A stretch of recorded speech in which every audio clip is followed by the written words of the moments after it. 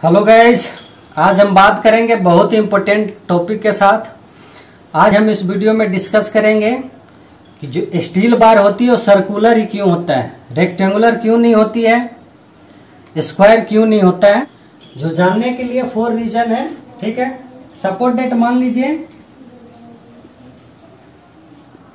ये बार है, ठीक है? इस सेक्शन को जब हम काटेंगे तो ऐसा दिखेगा।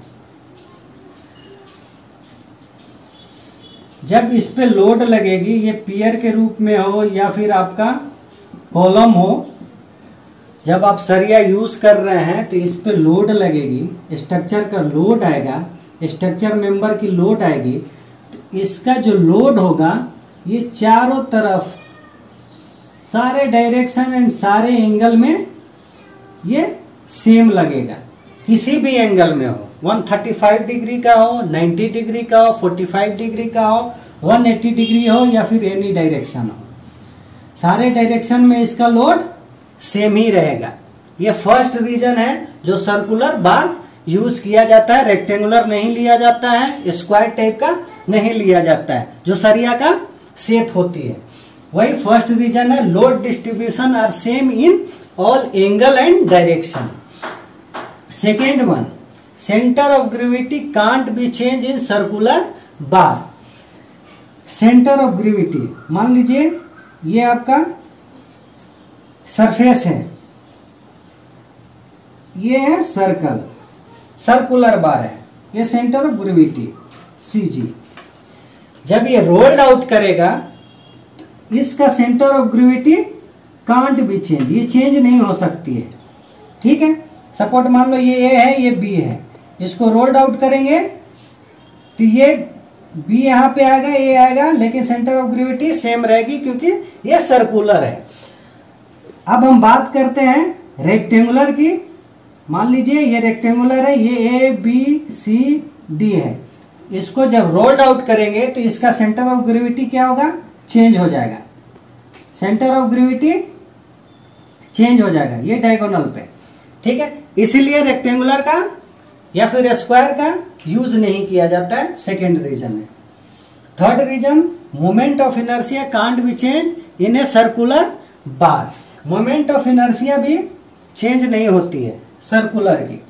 सपोर्टेड ये सर्कुलर है मोमेंट ऑफ़ इनर्सिया सेंटर से सेम ही आएगा, क्योंकि मोमेंट ऑफ़ इनर्सिया आई से डिनोट करते हैं I equal two M R square by two R क्या है?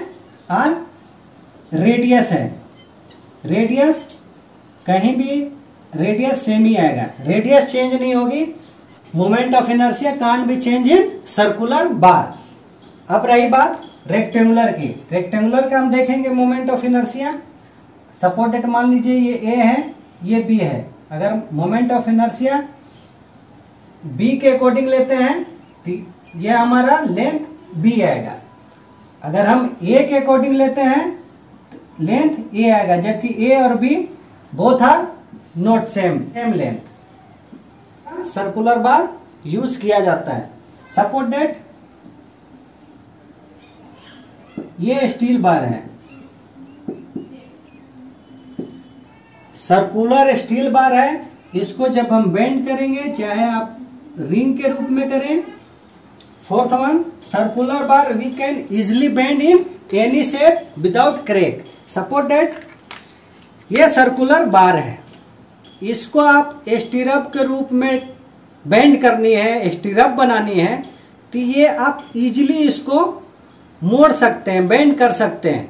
बट रही बात, अगर ये चिपटा है या फिर रेक्टेंगुलर है या फिर स्क्वायर बार है, आप जब इधर की तरफ़ जाएँगे तो ये बेंड नहीं होगा, ये ऑटोमेटिकली क्रेक हो जाएगा।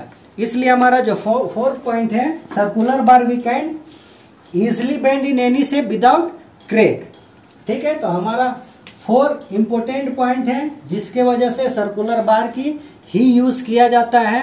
रेक्टेंगुलर या फिर any types of shape use नहीं किया जाता है। जो बार होती है, वो सर्कुलर ही होता है। ये फोर ये स्पेसिफिक रीजन है साइंटिफिक रीजन है.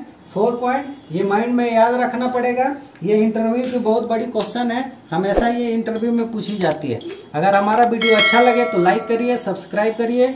लोगों के साथ शेयर करिए. Thank you